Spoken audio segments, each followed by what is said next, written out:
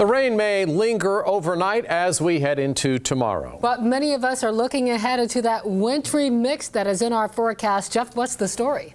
Yeah, I think a lot of our region is going to see a wintry mix come Friday, Friday night, even into Saturday. But before we get there, we have to set the whole stage with even colder air coming in and more moisture. And the question is, you know, the moisture, when it gets down to the south, how long does it wait to come back in? Right now, we've seen pretty light rain, the northern and western half of the viewing area, southern and eastern sections, basically sort of bisecting, have had a little bit more in the way of steadier precipitation. Right now, holding at 43 degrees, winds out of the south again. If you didn't watch us earlier, the high was 63 roughly. We're waiting on official confirmation just after midnight. Then we fell to the 50s, then we fell through the 40s, and now we're continuing to fall through the 40s with that light rain falling out there. And it's going to continue in the overnight hours. It'll gradually begin to break up and move to the south toward morning. And tomorrow, we've been talking about this for a while, best chance of rain is down in North Carolina. So cold tonight, just leftover rain showers. Tomorrow, rain showers will stay mainly south. Don't think we'll have much here, but much better much higher odds of winter weather moving in for Friday and Saturday. Much of the area at least going to see a little bit of snowflake uh, action mixing in, and it'll probably even change over in a number of spots. We'll detail that coming up. All right, thanks, Jeff. We have more information tonight about a crash that caused a huge traffic jam during the rush hour in Newport News. Police tell us four vehicles were involved, including a school bus. This happened around 5:30 at City Center Boulevard and Jefferson Avenue. There were no students on board the bus, but firefighters had to rescue one person from their car. That person is at a hospital. We are told that person should be okay. No other injuries were reported, and no word tonight on whether any charges are pending. A 12-year-old girl who was shot in Hampton is improving. Police say she's still in the intensive care unit. We brought you this as breaking news yesterday. The girl was shot inside a home on Lagarde Drive. Police say a 18-year-old man was handling the gun when it went off. Neighbors say the girl was hit in the head. Police questioned the 18-year-old and they're still investigating. They believe this shooting was an accident. Only on 13 News Now, a couple is asking for the public's help, but not for themselves. They found a dog on Black Friday that was badly hurt. They say x-rays showed the dog was shot twice. They've taken it in and gotten it treatment. Chenue Her has been following this story, and he tells us how the dog is doing. After a day of Black Friday shopping, Jennifer Morin and her husband Kyle came home to find something they didn't expect. As we were bringing in the bags, my husband pointed out that he saw a dog, looked unattended, so he starts calling the dog over. As it got closer, that's when they noticed. She was done. She was done. The dog wasn't in good shape. Right away, we noticed there was blood on the neck, blood on the head. She was shaking because it was about 32 degrees. Jennifer and Kyle took her in and cared for her until animal control was able to get involved. She says the dog saw an emergency vet. They later found the wounds were worse than what they thought. They didn't actually find out she was shot twice until about two days ago when they noticed the lumps were not going down after she saw the vet. Jennifer says the four year old dog had a successful surgery. Now the couple wants to find out who did this and why. All they know is a chip traced the dog back to Florida, but even that didn't help much. She's chipped, but they never updated it. So it go, the chip goes back to the original shelter. The chip IDs her as Shadow, the wounded dog who wandered across the Morins. This Black Friday, their best find found them. My husband He's in love. I love her. She's a good dog. Still has great life in her, like so much spirit, so much life. Jennifer tells me the dog is at the Norfolk Animal Care Center right now, and I did reach out tonight, but their offices were closed. We'll be sure to stay on top of this and bring you more when we get more information. Chenue Her, 13 News Now.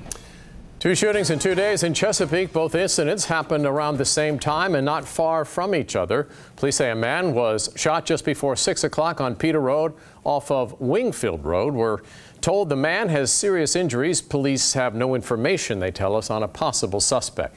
The other shooting happened on Wingfield Drive. Chesapeake police say a man was shot and killed after three people broke into his home and stole things from him. The man allegedly followed the suspects outside, and that's when they shot him several times. Tonight, one person is in custody. Police have not released the other suspect's information. The House has approved a Republican bill making it easier for gun owners to legally carry concealed weapons across state lines. The bill is the first gun legislation in Congress since the recent mass shootings. The bill is backed by the National Rifle Association. Opponents, mostly Democrats, say the bill could endanger public safety by overriding state gun laws. Worldwide concern tonight after President Trump announced Jerusalem as the capital of Israel and that he wants to move the U.S. embassy there. Tonight, emotions ranging from anger to fear. ABC's Serena Marshall has more on the reactions from world leaders. Good evening. It was a signature that took mere seconds but reversed decades of U.S. policy. President Trump declaring Jerusalem as the capital of Israel and his plans to start the process to move the embassy there from Tel Aviv. He said this was simply a recognition of reality. Today, we finally acknowledge the obvious that Jerusalem is Israel's capital. In 1995, a resolution was passed to do just that, but it had been waived by all previous American presidents due to fears it would spark violence in the region, making any peace talks impossible. Already, various Palestinian factions have called for three days of rage. No other country in the world has its embassy in Jerusalem. Widespread condemnation and concern from the Pope to regional leaders. Palestinian leaders saying it could lead to wars that will never end. The Turkish foreign minister called it a grave mistake. And European leaders dismayed. Britain's prime minister called it unhelpful to the peace process, and French President Macron saying it was regrettable. And eight countries, including the UK and France, have called for an emergency UN Security Council meeting. Across the Middle East, protests, Palestinians burning the US and Israeli flag. Israel, though, applauded the decision and said there is no peace that doesn't include Jerusalem recognized as the capital, a belief President Trump agrees with. We are no closer to a lasting peace agreement between Israel and the Palestinians. It would be folly to assume that repeating the exact same formula would now produce a different or better result. The president says the U.S. is still deeply committed to helping find lasting peace in the Middle East, and the vice president is heading to the region in the coming days. But the Palestinian president said this is a declaration that the U.S. has withdrawn from the peace process. Serena Marshall, ABC News at the White House. Another tough night for a community in North Carolina. Today, investigators positively identified a body found in a muddy creek as the remains of three-year-old Mariah Woods. She was reported missing from her home last month. Mariah's body was returned to her family tonight for a visitation. Friends and strangers alike showed up to pay their respects. It hit my heart. How can something happen to a beautiful little girl like that? Hopefully, it uh, that other people learn to just be more watchful of their children. The mother's live-in boyfriend has been charged in connection with Mariah's death. Earl Kimrey previously served time for theft and assault. Obstruction of justice charges against a Portsmouth school board member have been dropped. Police had accused Lakeisha Atkinson of getting in the way of an investigation back in September. An officer says two people were in police custody over a stolen vehicle. The officer says Atkinson asked one person their age. She was arrested when she would not back away. Tonight, Atkinson released a statement saying she understands the complexity of day-to-day -day operations of being a police officer. We have to collaborate together so our neighborhoods can be safe. Next time you get your state inspection sticker for your car, the sticker will go in a different spot on your windshield. Take a look at that right there on your screen. State police say the stickers will be placed in the bottom left corner of the driver's side instead of the center bottom of the windshield. Why that change? We're told it's because some car manufacturers now offer crash avoidance technology, which uses the center of the windshield. So the stickers will be moved so the technology can work properly.